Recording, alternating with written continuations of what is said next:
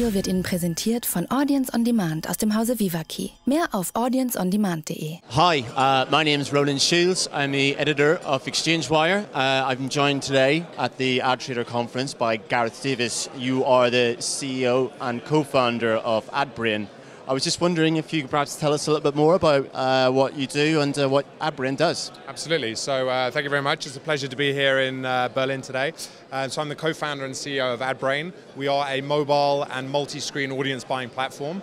Uh, we work with large global buyers, so the likes of Accuen, for example, the Exchange Lab, mobile specialists like M&C Saatchi Mobile, Fetch, these kind of guys, and we provide a SaaS enterprise platform. So the tools really for them to activate the value of their own proprietary data, either desktop data and bring it into mobile, or even mobile first data sets to buy their audiences in real time from the exchanges. Okay, um, you were just on a panel discussion and uh, you were talking about how uh, the, what you guys do can help uh, integrate the online world Yep. and the offline world. Maybe Sure. you can explain a little bit more about the opportunity there. Yeah, I mean, I think you know the, the, the big trend that we're seeing obviously is you know the, the rise of mobility. So consumers engaging with content, purchasing, browsing across multiple devices, whether that's a, a smartphone, a tablet, a, a laptop, and so forth.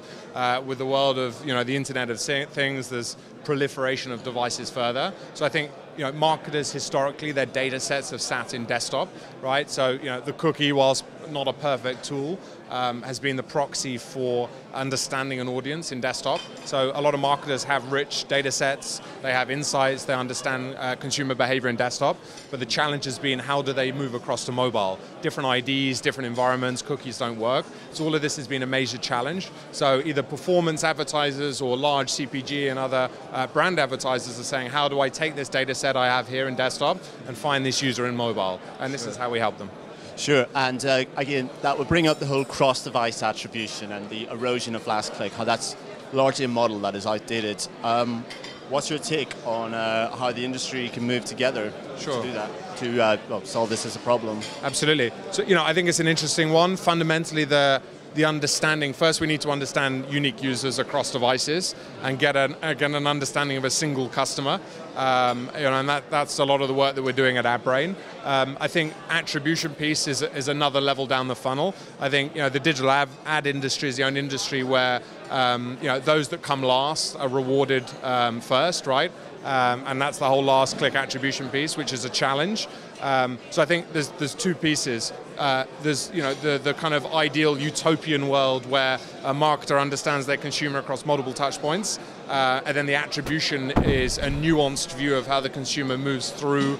Uh, the funnel or the pathway to purchase. Um, I don't think we're quite there yet. I think we, first we have to understand the data points and get a better understanding of the consumer to then understand how that directly affects a last click sale and then work backwards. So it's, it's going to be an iterative approach, but data and technology will be the tools that the agency or the marketer uses to do this. Okay, great. Well, Gareth, thank you very much. There's clearly a whole lot to talk about, so uh, why don't you go on and uh, we can all talk about this. Will do. Thank, Thank you. you, Ronan. Cheers.